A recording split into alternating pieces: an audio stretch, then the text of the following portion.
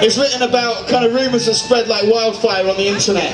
and how uh, we're getting to become a, um,